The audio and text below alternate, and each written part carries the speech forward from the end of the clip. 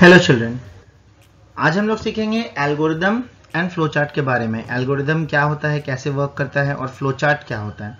सबसे पहले स्टार्ट करते हैं एल्गोरिदम से। एल्गोरिदम क्या होता है? Algorithm is a set of step by step instruction that describe how to perform a task मतलब कोई भी काम को हम कैसे करेंगे, एक के बाद एक स्टेप को लिखना। ठीक है? जैसे यहाँ भी हम लोग इंग्लिश में एक के बाद एक स्टेप को लिखेंगे, वही एल्गोरिदम कहलाता है। प्रोसेस का फ्लो बताता है कि कोई काम को किस स्टेप के बाद क्या स्टेप लेंगे किसी काम में, फिर उसके बाद नेक्स्ट स्टेप क्या होगा। कोई भी एक काम कर रहे हैं तो उसको प्रोसेस करने के लिए स्टेप बाय स्टेप गाइड जो करता है, वो कहलाता है एल्गोरिदम एक एग्ज़ाम्पल देखते हैं इसके लिए हम लोग। लाइक हमारे पास एक प्रोसेस है to make Maggi process to make Maggi में सबसे पहला स्टेप क्या होगा? तो पहले हम लोग स्टार्ट करते हैं। स्टार्ट स्टेप वन में गया है। स्टार्ट हम लोग एल्गोरिदम में हमेशा स्टेप्स ज़रूर लिखेंगे। तो स्टेप वन स्टार्ट हो गया। देन नेक्स्ट मतलब अभी हम लोग स्टार्ट बोल दिए मतलब हम काम शुरू किए। स्टेप टू में जाते हैं। स्टेप टू में take required amount of water in a container container में रिक्वायर्ड अमाउंट ऑफ़ वाटर हमें लेना है। वो ले लिए। उसके बाद स्टेप थ्री में लाइट द गैस स्टोव तो टू में हमने क्या किया? एक कंटेनर में पानी ले लिया है। और उसके बाद अब हम क्या करेंगे? गैस स्टोव ऑन करेंगे। स्टेप फोर में जाते हैं। स्टेप फोर में हमारा जो काम है वो put the container on the burner फिर हमने जिस कंटेनर में पानी लिया था उसको चढ़ा दिए गैस के ऊपर रख दिए। गैस ऑन है तो प्रोसेस जो हम कर रहे हैं, बस उसको स्टेप बाय स्टेप हमको लिखते जाना है। जो भी काम हम कर रहे हैं स्टेप बाय स्टेप लिखते जाना है। तो इस पूरे प्रोसेस जब ये कंप्लीट हो जाएगा तो ये पूरा एक सेट ऑफ़ एल्गोरिदम कहलाएगा मतलब एक एल्गोरिदम कहलाएगा। Okay step five burner on हो चुका है। बर्नर पे हम लोग पानी भी रख दिए है कंटेनर के थ्रू अब देखते हैं। Number five put Maggi and masala as per requirement अब जितना मैगी और जितना मसाले की ज़रूरत है, वो हम उसमें डाल दिए। और स्टेप सिक्स में अब उसको हम थोड़ी देर के लिए छोड़ दिए। Give two minutes to boil तो थोड़ी देर के लिए छोड़ दिए दो मिनट के लिए वो बॉईल हो जाए। स्टेप सेवन में टेक ऑफ़ द कंटेनर वो मैगी रेडी हो गया। अब हम कंटेनर को हटा दिए वहाँ से। और क्योंकि मैगी अब रेडी है तो अब नेक्स्ट स्टेप हमारा क्या होना चाहिए? नेक्स्ट स्टेप ऑफकोर्स मैगी निकाल के सर्व करना यूजिंग स्पून ओके और इस तरह से हमने एक पूरा मैगी प्रिपेयर कर लिया। तो ये मैगी प्रिपरेशन का एक सीक्वेंस में प्रोसेस बता रहा है। इसी को हम लोग एल्गोरिदम बोलते हैं। एट द एंड हम लोग स्टॉप लिखते हैं। एल्गोरिदम जब भी मेंशन करते हैं तो। तो ओवरऑल थिंग इज़ कि यहाँ पे जो भी आप प्रोसेस देख रहे हैं, एक के बाद एक के बाद एक प्रोसेस लगाओ। प्रोसेस का डिटेल्स हम डाले हैं। कोई भी प्रोसेस आगे पीछे नहीं करना है। एल्गोरिदम का मतलब होता है एक सीक्वेंस मेंटेन रखना। जैसे हम स्टेप थ्री को स्टेप एट में नहीं कर सकते। है ना? जो स्टेप थ्री है, वो अपने पोजीशन पे ही रहेगा। उसके बाद जो स्टेप है फोर रहेगा। तो सीक्वेंस मेंटेन रहना चाहिए। इसी चीज़ को हम लोग एल्गोरिदम बोलते हैं। ओके तो ये एक एल्गोरिदम का बेसिक एग्जांपल मैंने आपको दिखाया। अब थोड़ा फ्लो चार्ट के बारे में हम लोग जान लेते हैं। Flow chart is a type of diagram that represent a workflow process a flow chart can also be defined as a diagrammatic representation of an algorithm तो अभी हमने एल्गोरिदम समझा। एल्गोरिदम को जब हम एक डायग्रामेटिक रिप्रेजेंटेशन में दिखाएँगे डायग्राम के फॉर्म पे दिखाएँगे तो वो हमारा हो जाएगा फ्लो चार्ट ठीक है? तो फ्लो चार्ट का क्या क्या मेन डायग्राम से पहले वो समझ लेते हैं, किस डायग्राम का क्या या किस सिंबल का क्या मतलब है, वो समझना इसके लिए बहुत ज़रूरी है। तो स्टार्ट करते हैं। Commonly use symbols first point ये जो ओवल शेप है या फिर ये शेप यूज़ कर सकते हैं स्टार्ट और एंड बताने के लिए फ्लो चार्ट में। सिंबल्स बहुत इंपॉर्टेंट है फ्लो चार्ट में जो सिंबल जैसे दिया है, उसको वैसे ही यूज़ करना है। नेक्स्ट में हमारे पास इनपुट आउटपुट बॉक्स जब भी कुछ चीज़ हम लोग एक्सेप्ट करते हैं, उसको इनपुट बोलते हैं तो ये इनपुट आउटपुट बॉक्स रहेगा, ये वाला, और मतलब रिज़ल्ट जब दिखाएँगे तो वो आउटपुट होगा। जैसे पिछला एग्ज़ाम्पल की अगर हम बात करें मैगी वाले एग्ज़ाम्पल की तो मैगी में हम लोग इनपुट क्या लिए? पानी ले लिए, पानी हम लोग एक ऑब्जेक्ट लिए हैं। और इनपुट में और हमारा क्या है? पानी चाहिए था और उसके बाद मैगी मस, और मैगी मसाला बस यही इनपुट हुआ है हमारा। आउटपुट में हमें क्या मिला? प्रिपेयर्ड मैगी वो रिज़ल्ट है। तो वो एक एग्ज़ाम्पल मैंने आपको बताया। तो फ्लो चार्ट में भी जब हम लोग बनाएँगे तो फ्लो चार्ट में देखेंगे कि जो भी चीज़ हम कर रहे हैं उसमें इनपुट आउटपुट में ये बॉक्स यूज़ हो रहा है। स्टार्ट एंड में ये दोनों में से कोई एक बॉक्स यूज़ कर सकते हैं। नेक्स्ट में देखेंगे प्रोसेस बॉक्स कोई भी काम कर रहे हैं तो वो प्रोसेस बॉक्स लगेगा। स्क्वायर रेक्टेंगल है ये। Okay it's a rectangle then direction of flow arrow देना होता है, वो हम आपको करके दिखाएँगे, कहाँ यूज़ होता है इसका। नेक्स्ट हमारे पास diamond decision box diamond box जो है, वो डिसीज़न बताता है। जब भी हमको डिसीज़न लेना होता है तो ये बॉक्स का यूज़ होता है। और कनेक्टर्स कनेक्टर्स का काम होता है, जब एक पेज खत्म हो जाए और फिर भी आपको फ्लोचार्ट कंटिन्यू रखना है तो आप नेक्स्ट पेज में कनेक्टर का यूज़ कर सकते हैं। एंड में और नेक्स्ट पेज में स्टार्टिंग में। फ़र्क तो इसका भी यूज़ मैं आपको करके सब में दिखाऊँगा किस तरह से ये सब यूज़ हो रहा है, कहाँ कहाँ। कनेक्टर्स बहुत रेयर यूज़ होता है, लेकिन ये सब जितना है, ये सब बेसिक्स कॉमनली यूज़ सिंबल्स है फ्लो चार्ट के, जो यूज़ होंगे, और हम अभी सॉल्व करके आपको दिखाएँगे। तो चलिए अब हम लोग स्टार्ट करते हैं सॉल्व करना। पहला क्वेश्चन पे चलते हैं, कैसे एल्गोरिदम लिखेंगे और कैसे फिर उसका फ्लो चार्ट बनाएँगे, वो हम लोग देखेंगे। Write an algorithm and draw flow chart to add two numbers 28 and 16 तो दो नंबर्स को हमें ऐड करना है 28 और 16 को ऐड करना है, इसके लिए एक एल्गोरिदम हमें देना है। तो एल्गोरिदम स्टार्ट करते हैं। सबसे पहले स्टार्ट लिखेंगे। तो स्टार्ट हो गया एल्गोरिदम हमारा। उसके बाद हम लोग क्या करेंगे, जो नंबर्स है, उसको स्टोर कर देंगे किसी वेरिएबल्स में। जैसे कि 28 है, उसको स्टोर कर दिए ए नाम से। और वैसे ही 16 है, उसको बी नाम से स्टोर कर दिए। तो यहाँ पे क्या है, ये जो ए और बी है, ये नेम लोकेशन हो जाएगा वेरिएबल कहलाएगा ये ओके सो बस ये है कि 28 को कोई एक नाम दे देंगे और 16 को कोई एक नाम दे देंगे। जितना नंबर्स होगा, उसके लिए उतना वेरिएबल्स हमें लेना होता है। तो जो नंबर्स है, वो हम एक वेरिएबल में स्टोर कर दिए। और ये जो नंबर्स है, वो खुद में कांस्टेंट कहलाता है। तो जनरली हम लोग नंबर्स को वेरिएबल में स्टोर करते हैं और बाद में फिर वेरिएबल को यूज़ करेंगे। अब हम लोग जहाँ भी यूज़ करेंगे 28 नहीं बोलेंगे ए बोलेंगे। और जहाँ भी 16 को यूज़ करना है, वहाँ पे बी बोलेंगे। ओके स्टेप थ्री बस अब ऐड करना है। So add two numbers and store the result in sum variable तो इस बार क्या करेंगे? हम लोग ए प्लस बी लिख देंगे एडिशन कंप्यूटर कर देगा। उसके लिए हमें कुछ करने की ज़रूरत नहीं है। बस ए प्लस बी लिखेंगे तो ए में 28 है और बी में 16 है। ये ऐड हो जाएगा और जो रिज़ल्ट आएगा, उसको सम नाम से स्टोर कर रहे हैं। अगेन ये एक वेरिएबल है सम तो ये हम अपने मन से लेते हैं। तो जनरली यहाँ पे सम नाम से हम इसका आंसर स्टोर कर दिए। तो अब मेरा आंसर सम नाम से कहला रहा है। तो अब हमको इसको डिस्प्ले भी करना है। स्टेप फोर में जाएँगे। डिस्प्ले करेंगे द वैल्यू ऑफ़ सम तो प्रोसेस एल्गोरिथम का क्या है? दो नंबर ऐड करने के लिए क्या चाहिए? पहले दो नंबर चाहिए। तो उन दोनों को हम दो नाम से दो डिक्लेयर करके ले लिए, दो वेरिएबल डिक्लेयर करके ले लिए। फिर उनको हम ऐड कर दिए। और ऐड करके एक और नाम, यानी एक और नेम लोकेशन में, यानी कि एक वेरिएबल में सेव कर दिए। और उस वेरिएबल को फिर हम डिस्प्ले कर दिए। बस एक सिंपल सा प्रोसेस है। दो नंबर ऐड हो गया। बस उसके बाद हमारा एल्गोरिदम खत्म हुआ। स्टॉप अब हम लोग इसका फ्लो चार्ट देखेंगे कि फ्लो चार्ट इसी का कैसे बनेगा। तो एल्गोरिदम को जब हम डायग्राम वे में दिखाएँगे, उसी को फ्लो चार्ट बोलते हैं। ओके देखते हैं। स्टार्ट तो पहले हम लोग ये स्टार्ट का, जैसे कि मैंने आपको पहले ही शेप्स बता दिए हैं तो ये स्टार्ट का शेप हो गया हमारा। इसमें स्टार्ट लिख देंगे। उसके बाद एरो मतलब नेक्स्ट स्टेप उसके बाद हमारा A equal to twenty and B equal to sixteen जो हमने यहाँ किया था। यहाँ लेट नहीं लिखाता है। यहाँ डायरेक्ट हम लोग जो प्रोसेस कर रहे हैं प्रोसेस बॉक्स में रखते हैं। तो ये प्रोसेस बॉक्स है रेक्टेंगल और उसमें प्रोसेस क्या कर रहे हैं? ट्वेंटी एट को ए में स्टोर कर रहे हैं सिक्सटीन को बी में स्टोर कर रहे हैं। ओके जो यहाँ किए थे वही वही कर रहे हैं। नेक्स्ट में हमारा क्या करना है? दो नंबर को ऐड करना है तो हम दो नंबर को डायरेक्ट ऐड करेंगे। यहाँ पे हम डिस्क्रिप्शन नहीं लिखेंगे, सीधा ऐड करेंगे। So A plus B add किए और सम नाम से उसको स्टोर कर दिया मतलब सम नाम का एक वेरिएबल हो गया, उसमें आंसर स्टोर हो गया। ओके तो ए प्लस बी का आंसर सम में स्टोर हो गया। नेक्स्ट स्टेप क्या करना है? डिस्प्ले करना है। तो यहाँ प्रिंट यूज़ होता है। फ्लो चार्ट में हम लोग प्रिंट कमांड यूज़ करते हैं। तो जब भी हम आउटपुट को प्रिंट करेंगे शो करेंगे तो मतलब इसमें ये बॉक्स लगेगा शो करने के लिए। इनपुट आउटपुट बॉक्स जो है, वो लगेगा पैरेललोग्राम जितना भी मैंने प्रोसेस किया कैलकुलेशन किया कैलकुलेशन के लिए हम लोग ये बॉक्स यूज़ किए प्रोसेस बॉक्स लेकिन ये वाले में हम लोग जब डिस्प्ले कर रहे हैं तो हम लोग को इनपुट आउटपुट बॉक्स यूज़ करना है, जो कि पैरेललोग्राम है। प्रिंट सम क्योंकि सम में हमारा आंसर स्टोर था। सम में आंसर स्टोर था तो हम सम को प्रिंट कर दिए। बस हमारा काम कंप्लीट हुआ और फिर हम उसको एंड कर दिए। तो ये हम दो नंबर को ऐड कर लिए जहाँ नंबर गिवन था। अब नेक्स्ट प्रोग्राम देखते हैं। नेक्स्ट में हमें बोला है write an algorithm and draw flow chart to add two numbers यहाँ भी दो नंबर को ऐड करने बोले लेकिन यहाँ नंबर्स गिवन नहीं है। तो जब नंबर्स गिवन नहीं है तो हम क्या करेंगे? नंबर इनपुट करेंगे।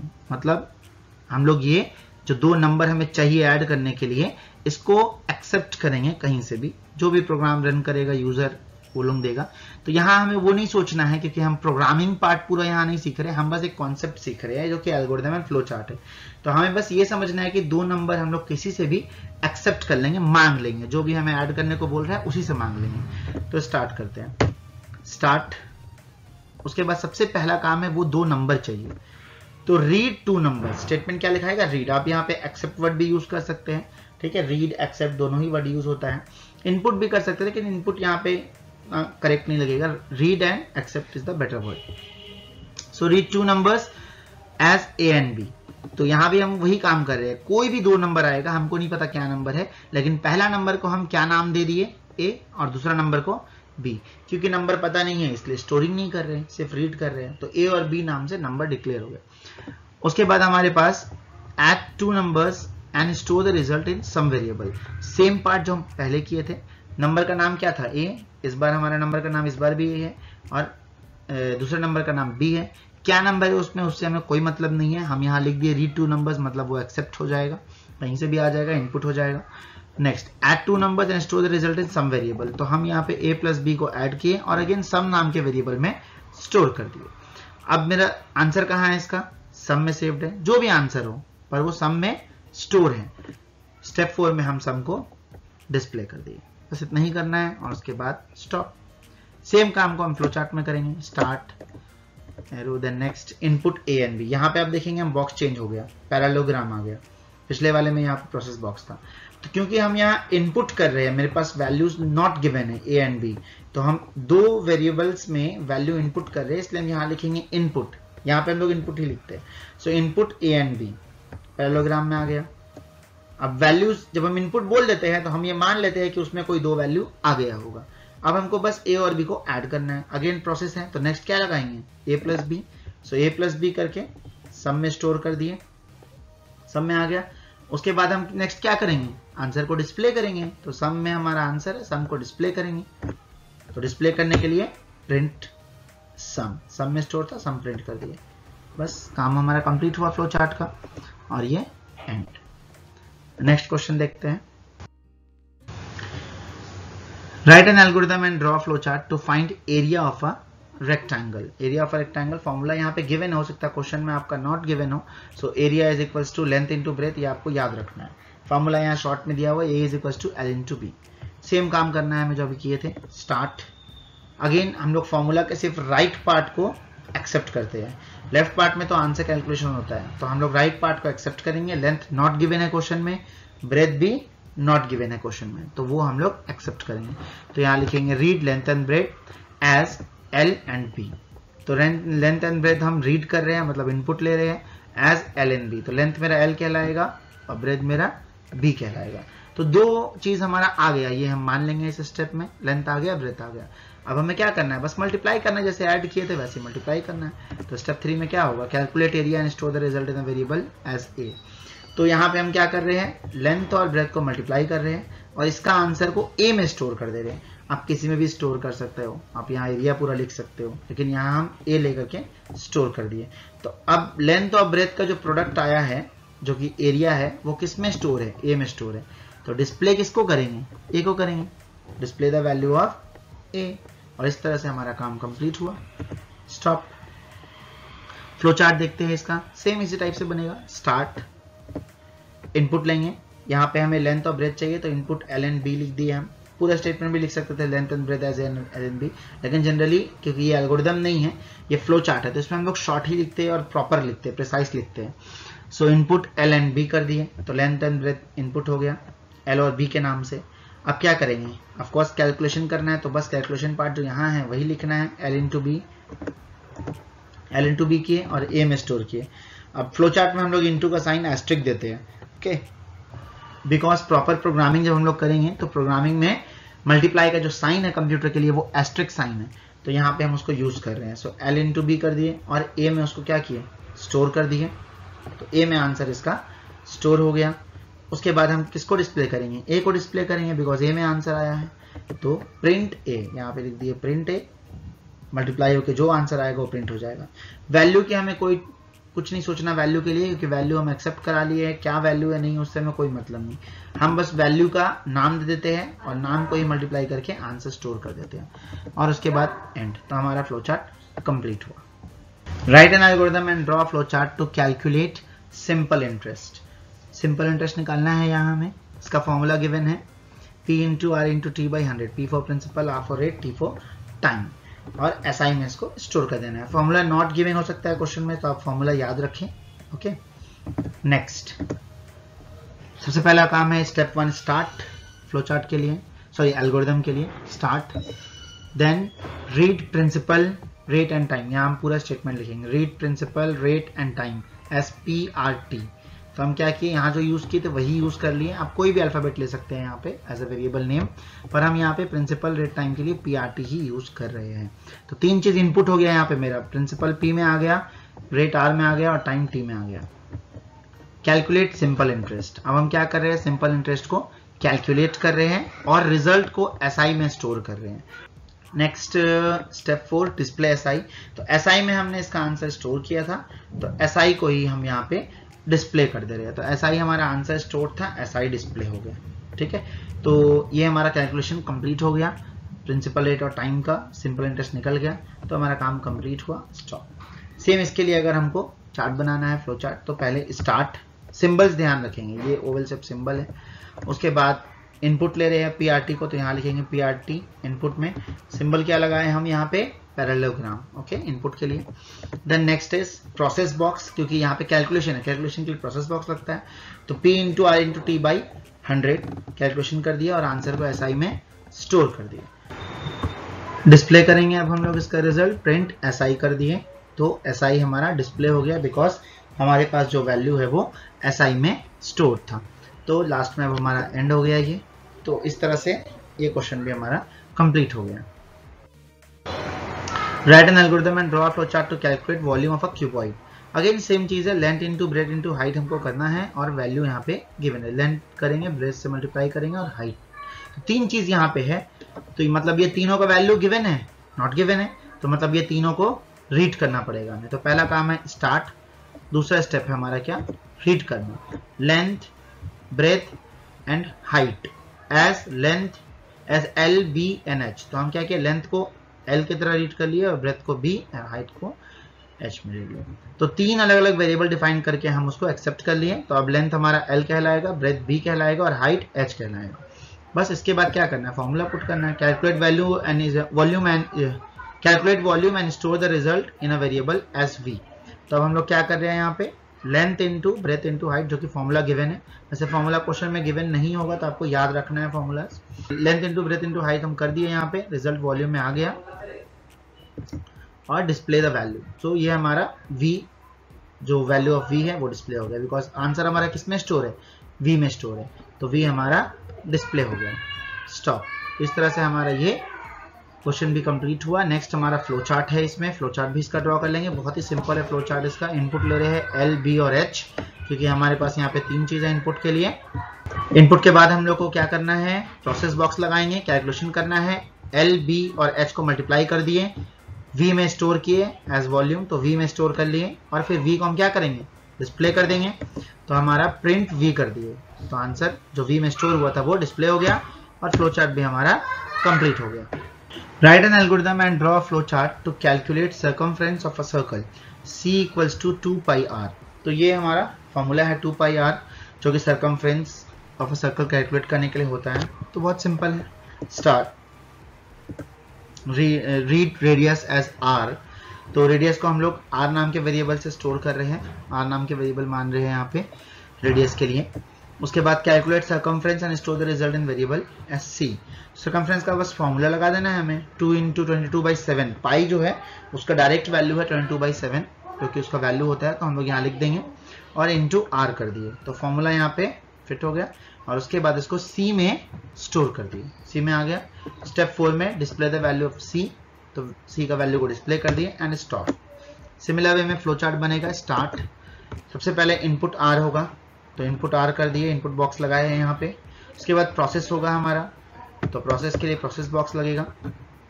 Two into twenty two by seven into R यहाँ मल्टीप्लाई एस्ट्रिक में दिए और सी में स्टोर कर दिए।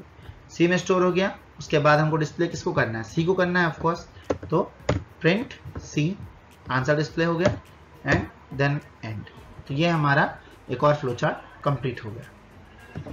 Next question write an algorithm and draw flow chart to check a person can vote और नॉट ये थोड़ा डिफरेंट है। यहाँ पे हम एक और नया सिंबल का भी यूज़ करेंगे। तो पहले हम लोग देखेंगे कि जहाँ पे कंडीशनल स्टेटमेंट होता है, जैसे कि हमारा check a person can vote और नॉट यहाँ कैलकुलेशन नहीं है। यहाँ पे हमें चेक करना है कि कोई पर्सन वोट कर सकता है या नहीं कर सकता। कैलकुलेशन नहीं है। तो इसको कैसे बनाते हैं?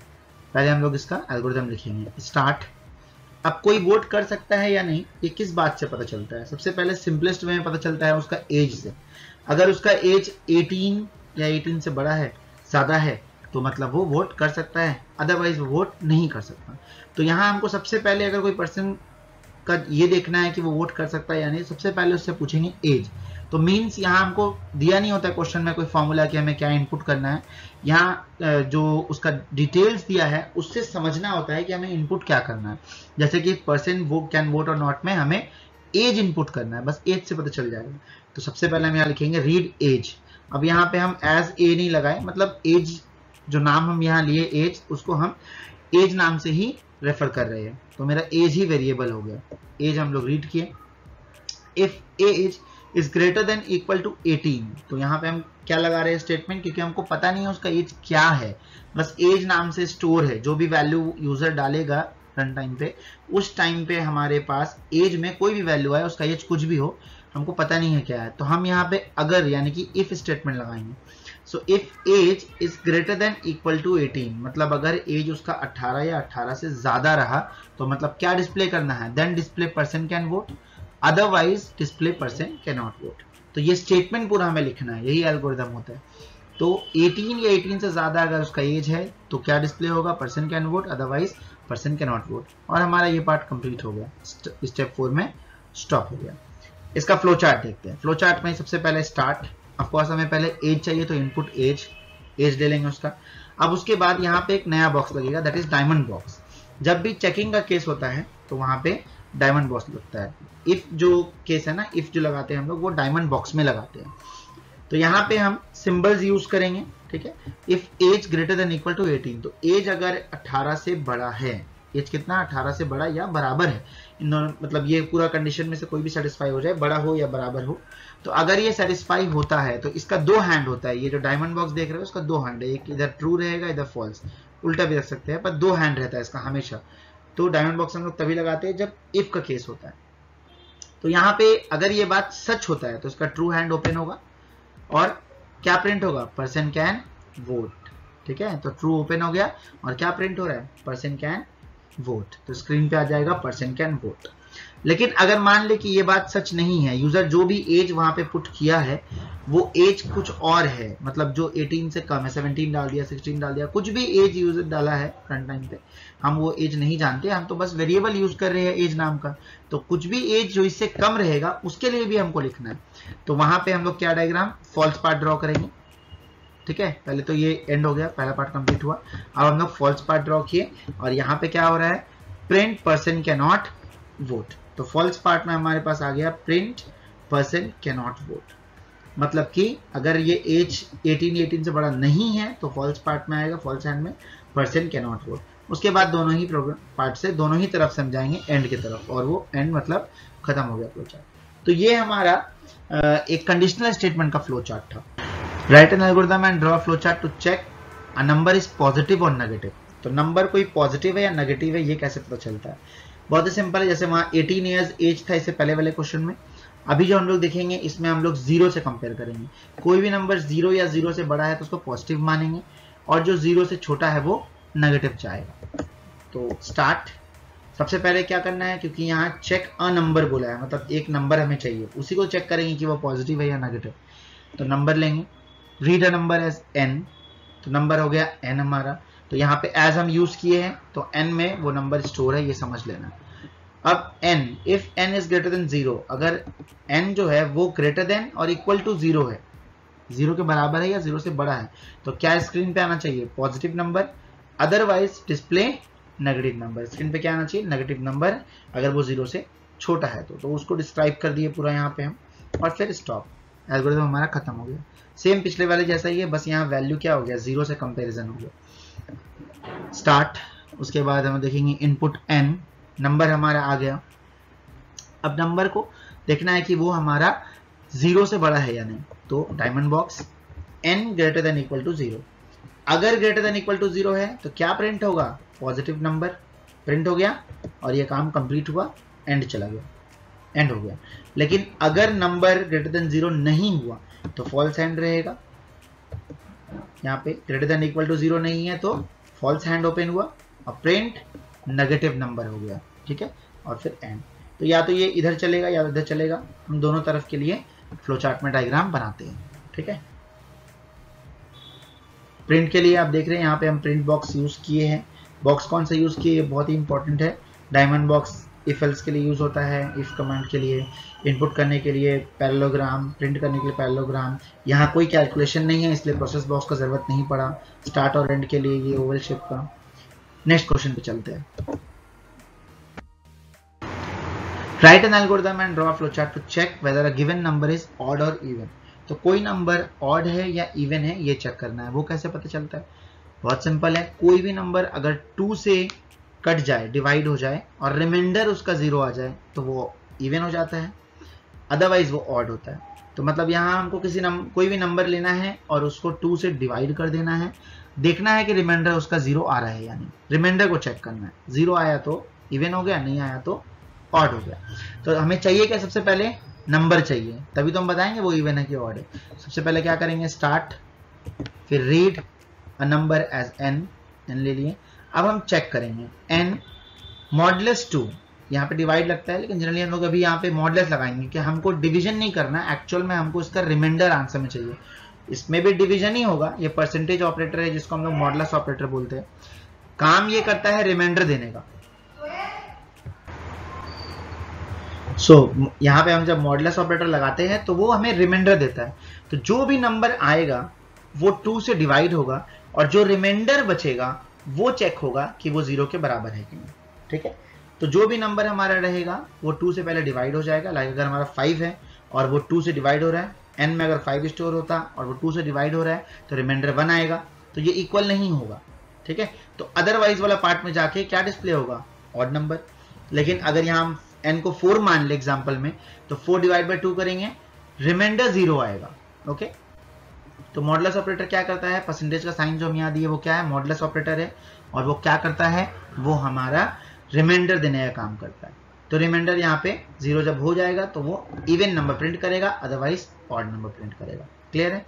नेक्स्ट स्टेप फोर स्टॉप तो हमारा काम यहाँ पे कंप्लीट हो गया। बस यही चेक करना था। अब फ्लो चार्ट में देखते हैं। स्टार्ट नंबर चाहिए हमें तो इनपुट नंबर लेंगे पैरेलोग्राम बॉक्स में। देन नेक्स्ट हमें चेक करना है। मतलब कि हमें डायमंड बॉक्स चाहिए।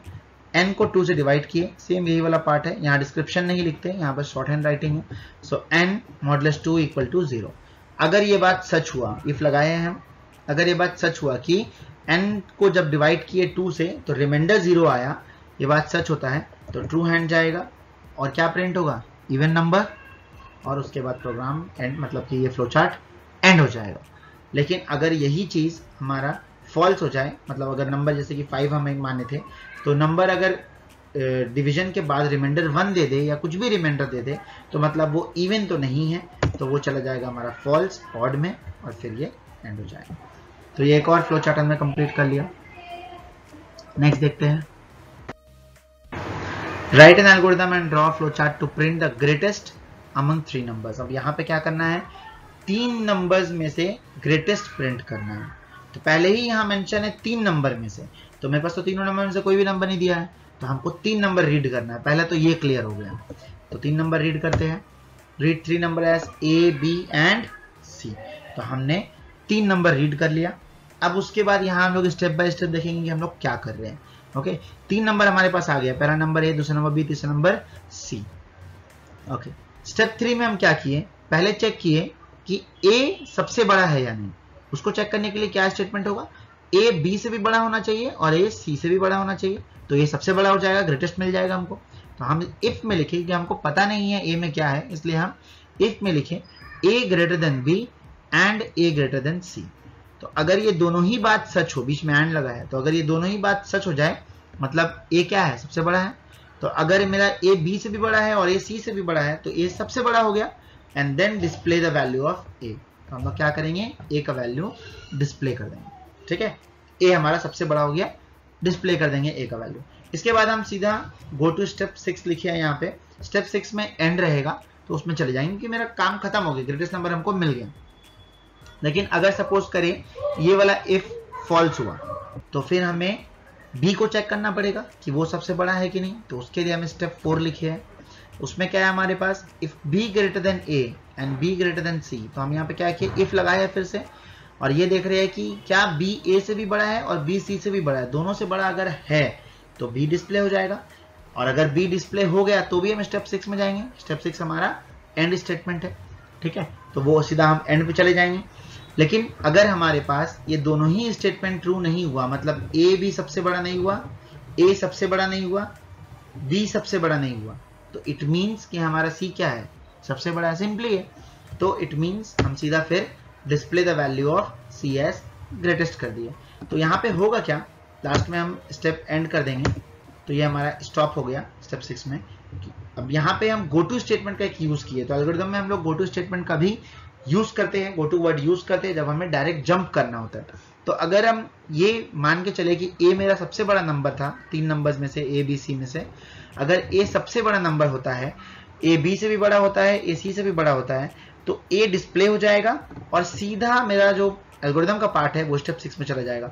बीच का फोर और सिक्स दोनों को इग्नोर कर देगा, क्योंकि हम यहाँ पे क्या लिख दिए स्टेप सिक्स पर ये एग्जीक्यूशन तभी होगा जब हमारा ये कंडीशन फुलफिल होगा। ए बी से बड़ा होना चाहिए ए सी से बड़ा होना चाहिए। अदरवाइज़ ये स्टेप फोर में जाएगा। यहाँ फिर चेक करेगा कि बी ए से बड़ा है कि नहीं बी सी से बड़ा है कि नहीं। अगर ये फुलफिल हो गया तो बी डिस्प्ले होगा और वो सीधा कहाँ चल जाएगा? स्टेप सिक्स में स्टॉप स्टेप फाइव उस समय स्किप हो जाएगा। अदरवाइज़ अगर ये दोनों ही स्टेटमेंट ट्रू नहीं होता तो लास्ट स्टेटमेंट जो स्टेप फाइव उस मतलब वो स्टेप फाइव में जाएगा। और यहाँ पे डायरेक्ट वो प्रिंट कर देगा display the value of C as greatest तो सी डिस्प्ले हो गया। ए और बी बड़ा नहीं है तो सी ऑफ़ कोर्स बड़ा है। और इस तरह से हमारा एल्गोरिदम कंप्लीट हो गया। फ्लो चार्ट में हमारे पास जो पार्ट है स्टार्ट सबसे पहले हम लोग ए बी सी तीन नंबर रीड लेना है। तो इनपुट ए बी सी तीन नंबर को हम लोग रीड ले लिए। उसके बाद हमें क्या करना है? चेकिंग करना है। तो सबसे पहले डायमंड बॉक्स चाहिए। A greater than B and A greater than C अगर ये बात सच हुआ ए बी से भी बड़ा है और सी से ही बड़ा है तो ट्रू एग्जीक्यूट हो जाएगा और सीधा यहाँ पे प्रिंट ए कर देगा, क्योंकि ये सबसे बड़ा है। जो कि हम जैसे यहाँ लिखे तो वैसे ही इस डायग्राम को भी बनाया गया सो ये प्रिंट ए हो गया। सिमिलर वे में अगर ये फॉल्स हो गया ए बी से बड़ा और ए सी से बड़ा, दोनों केस में वो ट्रू नहीं हो पाया और ये फॉल्स हो गया तो इसका फॉल्स हैंड में फिर हमको आगे बी को चेक करना पड़ेगा। तो हम फॉल्स हैंड लेंगे। पहले ये एंड हो गया, ये पार्ट उसके बाद फॉल्स हैंड लेंगे। फॉल्स हैंड में हम फिर चेक करेंगे B greater than A and B greater than C तो अब हम लोग यहाँ पे देख रहे हैं कि बी जो हमारा है, वो ए से बड़ा है और बी जो हमारा है, वो सी से बड़ा है। इतना तो क्लियर हो गया कि यहाँ तक हमारे पास ए सबसे बड़ा नहीं था। तो फिर हम बी सबसे बड़ा है यानी ये चेक कर लिए। अगर हमको बी सबसे बड़ा मिल गया तो हम क्या करेंगे? बी को ही प्रिंट कर देंगे। तो ट्रू हैंड ला करके इसका जो ट्रू हैंड होगा, वो बी प्रिंट हो जाएगा। ठीक है? लेकिन अगर ये भी फॉल्स हो गया कि बी सबसे बड़ा नहीं निकला तो इट मींस कि हमारा जो लास्ट नंबर था दैट इज़ सी वो सबसे बड़ा हो गया है। तो वो हमारा डिस्प्ले हो जाएगा। तो फॉल्स हैंड पे इसका सी डिस्प्ले हो जाएगा। ठीक है? और उसके बाद सभी एंड की तरफ़ चले जाते हैं तो एंड हो गया। सभी ये हमें ध्यान रखना है कि हमेशा सभी लाइनिंग्स जो ट्रू फॉल्स जितना भी हो वो सभी आखिरी में एंड की तरफ़ जाके रुके। कोई भी लाइन ब्लैंक ना छूट जाए ठीक है? आखिरी में एंड तक में जा, जाना है खत्म हो जाना है उसको ठीक है? Write an algorithm and draw flow chart to find profit percent और लॉस परसेंट हमें यहाँ प्रॉफिट परसेंट या लॉस परसेंट खोजना है। तो प्रॉफिट परसेंट लॉस परसेंट खोजने के लिए पहले तो ये पता होना चाहिए कि हमारे पास सीपी और एसपी क्या है। ठीक है? जो हमारा सेलिंग प्राइस और कॉस्ट प्राइस होता है। खरीदे कितना, बेचे कितना में। दोनों में फिर ये देखना है कि बड़ा कौन है। अगर खरीदने का दाम ज़्यादा है तो लॉस हो गया। अगर बेचने का दाम ज़्यादा है तो प्रॉफिट हो गया। तो इस हिसाब से पहले हमको वो देखना है कि कहाँ मेरा प्रॉफिट हो रहा है, कहाँ लॉस हो रहा है। सबसे पहला काम हमारा क्या होगा? रीड यहाँ पे हम सबसे पहले क्या कर रहे हैं? रीड कर रहे हैं। ओके तो रीड स्टार्ट के बाद read cost price and selling price CP and SP बस दो ही चीज़ चाहिए हमको सीपी एंड एसपी चाहिए। अब उसके बाद तीन केसेस हो सकता है। या तो सीपी बड़ा हो जाए, या तो एसपी बड़ा हो जाए, या तो दोनों बराबर हो जाए। तो उन तीनों के लिए यहाँ पे मैंने स्टेप्स लिखा है। स्टेप थ्री में हम लोग करेंगे if CP less than SP then go to step six तो अगर हमारा सीपी छोटा हो गया एसपी से मतलब एसपी क्या है? बड़ा है तो यहाँ प्रॉफिट हो गया। एसपी बड़ा है तो प्रॉफिट है। प्रॉफिट मैंने स्टेप सिक्स में कैलकुलेट किया है। Calculate profit percent and then go to step eight तो प्रॉफिट परसेंट हम कैलकुलेट करेंगे यहाँ पे। प्रॉफिट निकालने के लिए एसपी माइनस सीपी उसको प्रॉफिट में ही सेव कर दिए। फिर प्रॉफिट परसेंट का फॉर्मूला लगाए profit by CP into hundred और पीपी में पीपी नाम का जो हम वेरिएबल यूज़ किए हैं पीपी में हम लोग का स्टोर हो जाएगा प्रॉफिट परसेंट तो स्टेप सिक्स में ये कैलकुलेट हो गया। कैलकुलेट होने के बाद हम कौन सा जगह चले गए? स्टेप एट में, क्योंकि हमको आगे और कुछ करना नहीं कैलकुलेशन कंप्लीट हुआ। आंसर मेरा पीपी में आया। स्टेप एट में जाकर के हम डिस्प्ले कर दिए पीपी को। यानी प्रॉफिट परसेंट को, और फिर हम सीधा स्टेप इलेवन में जाकर के एल्गोरिदम को एंड कर दिए। तो ये तब का बात हुआ जब हमारा एसपी बड़ा है। अगर हमारा एसपी बड़ा नहीं है तो फिर हो सकता है हमारा सीपी बड़ा हो। तो स्टेप फोर में हम उसको चेक किए। If CP greater than SP और फिर अगर ये बात सच हो जाता है कि सीपी जो है वो हमारा एसपी से बड़ा है, ये बात अगर सच होता है स्टेटमेंट ट्रू होता है कि सीपी एसपी से बड़ा है तो हम चल जाएँगे स्टेप सेवन में जहाँ हम लॉस को कैलकुलेट किए। तो स्टेप सेवन में गए। Calculate loss percent and then go to step nine तो पहले हम लोग क्या करेंगे? लॉस निकालेंगे सीपी माइनस एसपी लॉस में स्टोर हुआ। फिर loss by CP into hundred किए फॉर्मूला के अकॉर्डिंग और फिर एलपी में इसको सेव कर दिए। तो फाइनल आंसर मेरा लॉस परसेंट का आया एलपी में, यहाँ लॉस परसेंट निकालने बोला था एलपी में आ गया। अब हम यहाँ से क्या बोला है? स्टेप नाइन में जाने तो स्टेप नाइन में हम लॉस परसेंट को क्या किए? प्रिंट कर दिए डिस्प्ले कर दिए है। ठीक है? Display the value of LP और फिर हम एंड कर दिए मतलब स्टॉप कर दिए। गो टू स्टेप 11 तो ये स्टॉप हो गया लास्ट केस इसमें हम लोग क्या देख रहे हैं कि अगर ये भी ट्रू नहीं हुआ कि सीपी एसपी से बड़ा नहीं है तो मतलब क्या है? सीपी और एसपी दोनों बराबर है। सीपी और एसपी में अगर एसपी बड़ा नहीं है सीपी बड़ा नहीं है तो लास्ट मतलब क्या कि दोनों बराबर है। तो उसके लिए हम स्टेप टेन में डायरेक्ट डिस्प्ले किया है। कोई कैलकुलेशन नहीं बनता, कोई प्रॉफिट कोई लॉस नहीं है। तो स्टेप टेन यहाँ से गो टू कर दिए और डिस्प्ले कर दिए। नो प्रॉफिट नो लॉस ये डिस्प्ले हो जाएगा। और फिर इसके नेक्स्ट बाद ही स्टॉप है तो वो ऑटोमेटिकली उस पर चला जाएगा। तो इस तरह से हमारा फ्लो इसका जो एल्गोरिदम है, वो कंप्लीट हुआ।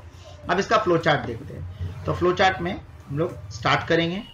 रीड करना है हमें कॉस्ट प्राइस और selling price as CP and SP तो इनपुट लिए CP and SP after this checking है। सीपी और एसपी के बीच का चेकिंग है।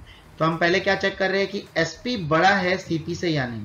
तो SP is greater than CP और नॉट तो if SP greater than CP true किए और सीधा चले गए प्रॉफिट क्योंकि अगर ये बात सच हुआ एसपी बड़ा है तो प्रॉफिट निकालेंगे। एसपी माइनस सीपी किए प्रॉफिट निकल गया। प्रॉफिट निकलते ही प्रॉफिट परसेंट निकालना है हमें तो इसका ठीक बात प्रॉफिट परसेंट होगा। प्रॉफिट परसेंट के लिए profit by CP into hundred करके पीपी में सेव कर दिए। और फिर हमारा फाइनल आंसर पीपी में आया है तो पीपी को डिस्प्ले कर देंगे। तो प्रिंट बॉक्स लगाए यहाँ पे पैलोग्राम वाला, और प्रिंट पीपी कर दिए। और ये हमारा एक पार्ट एंड हो गया। तो ये हमारा, इस केस में अगर प्रॉफिट होता है तो ये एंड हो गया। लेकिन अगर ये बात सच नहीं होता है कि एसपी बड़ा नहीं है सीपी से तो हो सकता है एसपी छोटा हो सीपी से, उसके लिए हम करेंगे false part if SP less than CP ठीक है? अब यहाँ पे क्या है? सीपी जो है वो बड़ा है एसपी से। अगर हमारा सीपी बड़ा होता है एसपी से, ठीक है? तो हमारा ये लॉस हो जाएगा। फिर हम लॉस कैलकुलेट करेंगे। प्रोसेस बॉक्स लगाएँगे, क्योंकि कैलकुलेशन है। तो यहाँ पे loss is equal to CP minus SP calculate कर दिए लॉस निकल गया, फिर लॉस परसेंट निकालेंगे loss by CP into hundred LP में स्टोर किए। अब एलपी को हम लोग प्रिंट कर देंगे, क्योंकि लॉस परसेंट निकल चुका है तो अब हम, हमारा ये आंसर प्रिंट हो जाएगा। तो प्रिंट एलपी और ये एंड हो गया। तो अगर ये पार्ट हमारा ट्रू होता है तो ये ऐसे बन गया प्रॉफिट अगर ये पार्ट हमारा फॉल्स हो जाता है तो ऑफकोर्स ये लॉस हो सकता है, इसलिए यहाँ पे चेक किए लॉस के लिए। और फिर हम लॉस में अगर ये सही आता है कि हाँ ये लॉस है तो फिर लॉस का कैलकुलेशन कर दिए लेकिन अगर ये इसमें भी नहीं आता है कि लॉस भी नहीं है तो इट मीन्स कि वो प्रॉफिट और लॉस दोनों ही नहीं है मतलब एसपी और सीपी बराबर है।